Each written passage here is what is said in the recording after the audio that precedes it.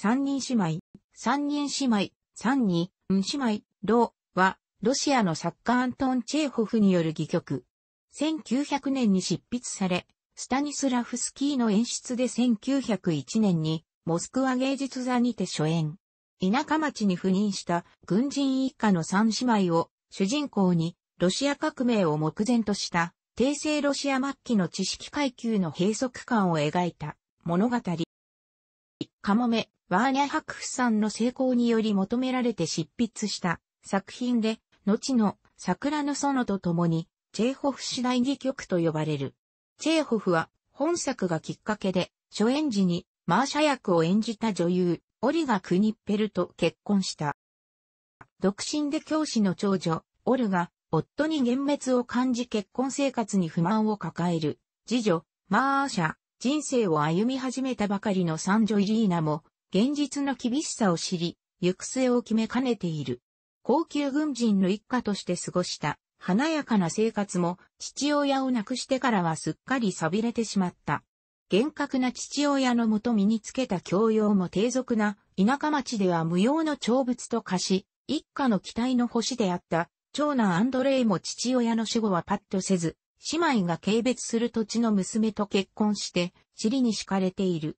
姉妹の唯一の希望は、昔暮らしたモスクワへ帰ること。一家が最も輝いていたモスクワ時代を理想化し、無双することだけが現実の不安を吹き払ってくれる支えになっていた。その町で姉妹が楽しく交流できるのは、父親と同じ軍人たちだけである。快活に見える彼らも、また個々の問題を抱えながら、それぞれのやり方で現実をやり過ごしている。マーシャはその中の一人と、不倫し、イリーナは二人から求愛されている。真実の愛を夢見ていた、イリーナだが、現状打破の手段として、愛のない結婚を選択する。軍の移動が決まり、一家との別れの時を迎えたその日、イリーナの婚約者が死亡する。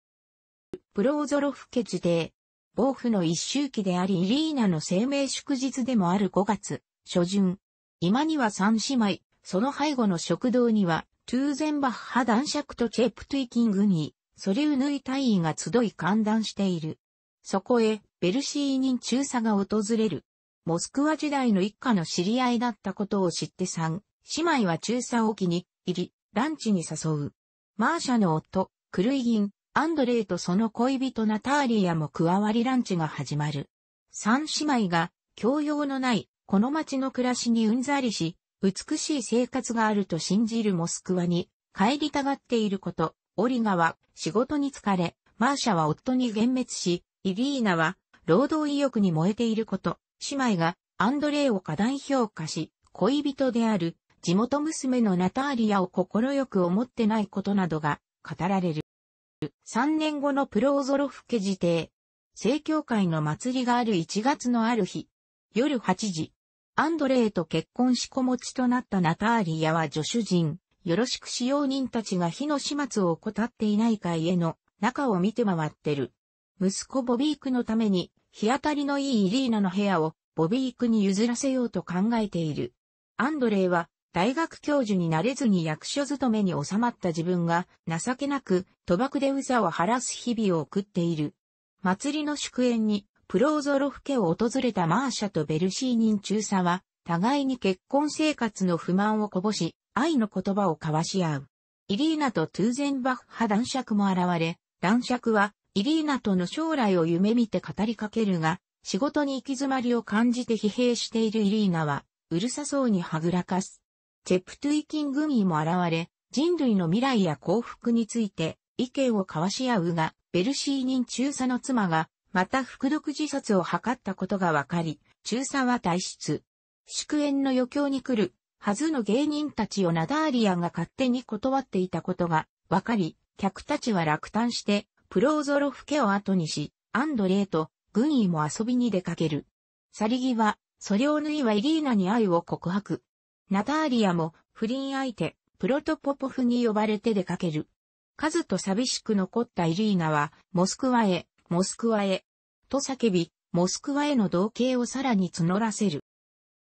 翌年の夏、ボビークに部屋を譲り、同室となったイリーナとオリガの部屋。深夜2時。ソファにはマーシャ。窓の外では火事騒ぎが起こっている。オリガは焼け出された人たちのために自分の衣服をかき集める。ベルシーニン中佐一家もプローゾロフ家の一室に避難している。ナターリアは金持ちの義務として被災者支援を口にする一方で、年老いたアンフィーサを役立たずとして追い出すようオリガに迫り、悲しませる。断酒していたチェプトゥイキングミは患者を死なせた失意から再び酒に手を出し、追いぼれた欺瞞だらけの自分を罵る。イリーナ、トゥーゼンバッハ男爵、ベルシーニン中佐が現れ、軍が町から移動になるという噂話をする。マーシャと中佐の心が通じ合っていることを知りながらも、夫クルイギンはマーシャへの愛と賛辞を繰り返し、満たされていると力説する。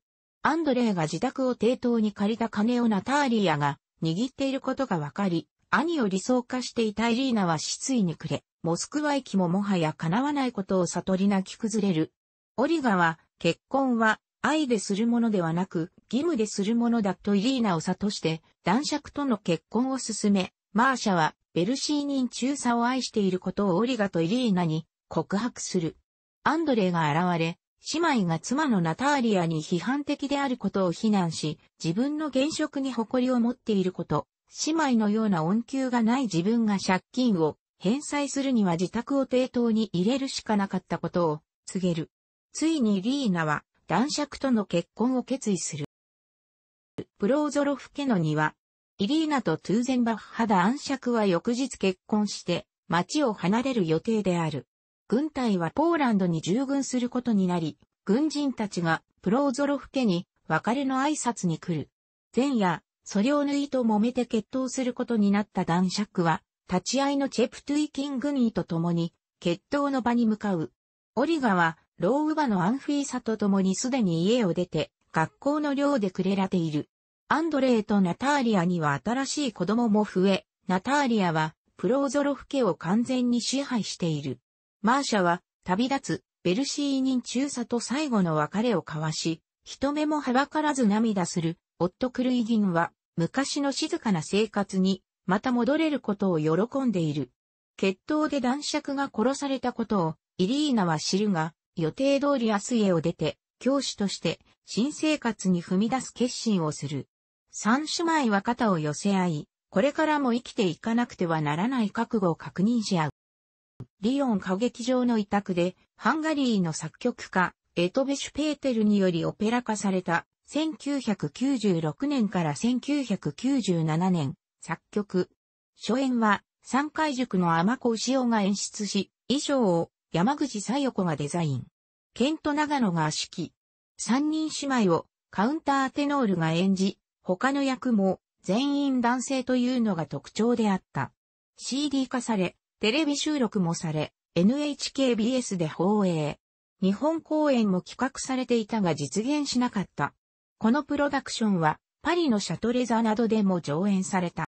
その後、ドイツでの新演出は、女性役は女性が演じている。2016年3月のウィーン、国立歌劇場初演では作曲家、エトベシュ本人の指揮で上演され、三人姉妹は女性が演じた。代表作として日本でも人気があり、当然戦前から現在に至るまで数多くの団体によって演劇公演が行われている。上記のほか、乃木坂46メンバーを起用しての舞台が企画され、2017年12月8日に公演日程が発表された。楽しくご覧になりましたら、購読と良いです。クリックしてください。